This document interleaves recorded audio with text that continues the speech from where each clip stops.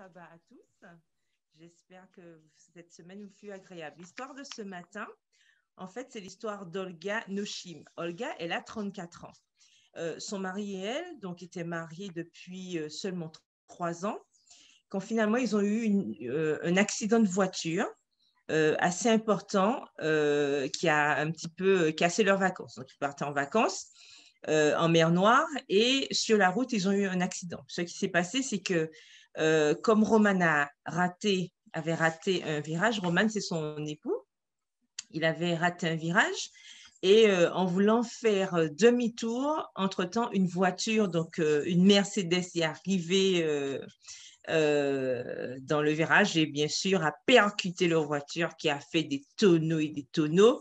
Et finalement, elle nous dit que ça semblait interminable, mais par la grâce de Dieu, ils s'en sont sortis et ils ont pu sortir euh, de la voiture par une vitre brisée. Euh, et le chauffeur, heureusement, ils ont regardé, le chauffeur aussi, la voiture, euh, leur voiture était réformée. La voiture du, monsieur, donc la Mercedes, on nous précise, était dans un mauvais état. Mais en tout cas, le chauffeur allait bien. Donc, ça, c'était déjà un point positif. Néanmoins, Olga et Roman n'avaient pas beau, ne sont pas riches, ils n'ont pas beaucoup d'argent. Et bien sûr, le, chauffeur de la Mercedes a demandé qu'il puisse, euh, rembourser. Donc, entre-temps, c'est vrai que la police est arrivée, donc ils ont pu faire les papiers, les, démarches d'usage. Mais euh, le, le, chauffeur euh, donc, de, de, la Mercedes a demandé à ce qu'ils puissent rembourser, bien sûr, leur voiture. Donc, bien sûr, ça a été le stress. Et euh, à un moment donné, l'histoire nous dit que Olga euh, a décidé d'aller dans, un, dans, dans, une vigne qui était juste à côté. Elle s'est agenouillée, elle a demandé à Dieu de les aider parce que vraiment, elle, ne voyait pas comment faire. Donc, elle est retournée sur les lieux de l'accident après.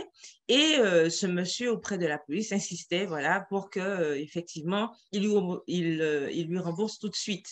Donc, il, il leur a demandé de remettre leurs papiers et qu'ils n'auraient leurs documents que lorsqu'ils auraient remboursé la voiture. Donc, euh, Roman, et, Roman et Olga se sont retirés à nouveau euh, dans le champ et puis ils se sont mis un petit peu à se disputer. Et là, ils se sont rendus compte, en fait, que ça faisait un moment que leur couple euh, battait un peu de l'aile et Roman s'est rendu compte qu'ils allaient même divorcer si ça continuait. Et du coup, donc, ils se sont, ils se sont réconciliés, ils, ont, ils se sont mutuellement demandé pardon. Et du coup, ensemble, ils ont été à nouveau voir le chauffeur et ils ont remis, euh, ils n'avaient pas le choix, ils lui ont remis euh, le, en papier. Et puis, euh, ce monsieur les a invités à rester chez lui jusqu'à ce qu'il puisse rembourser la voiture. Donc, c'est ce qui s'est passé. Et en arrivant euh, chez, ce monsieur, euh, ils ont, il leur a proposé d'abord euh, à manger. Donc, il, était, il s'appelait Moussa. Hein. Donc, il leur a proposé à, manger et ils, ils, étaient, non, pardon, il était très surpris de savoir que le couple, donc Roman et Olga, ne mangeaient pas de viande, pour commencer. Et ensuite, il leur a proposé des boissons alcoolisées et non, ils ont encore refusé. Euh, donc, euh, il leur a dit, euh, c'est bizarre, mais vous êtes étrange, vous. Et vous êtes...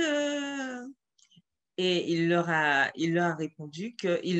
Enfin, ils ont répondu que ils étaient adventistes du septième jour. Il a dit, ah, ça fait les deuxièmes adventistes que je rencontre de toute ma vie. Donc, du coup, ils ont commencé à échanger.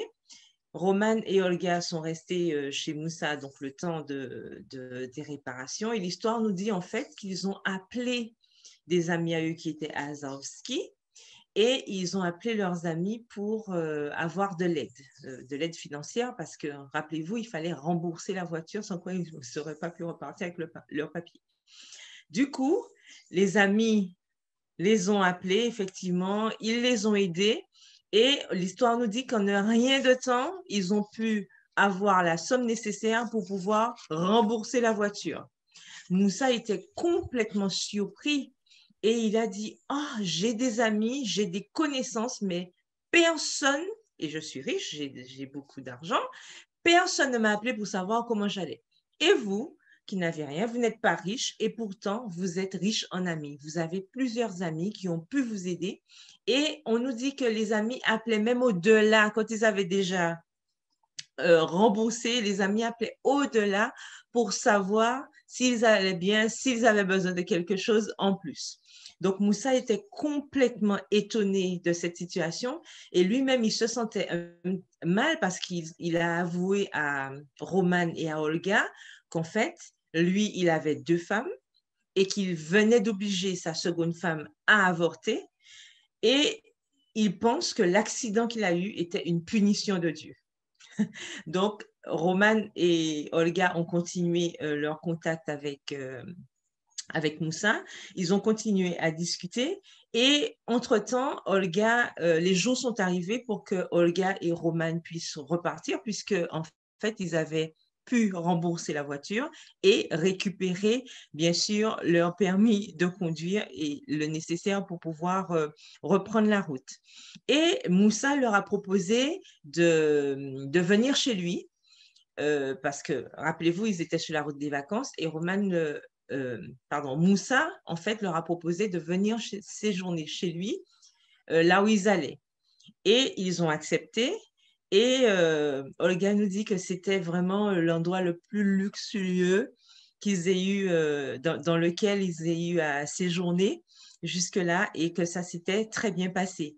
Et elle nous dit qu'en fait, l'année suivante a été plutôt difficile parce qu'ils ont dû rembourser leurs dettes. Rappelez-vous qu'ils qu'ils avaient perdu leur voiture. Roman, lui, a trouvé un nouveau travail, heureusement.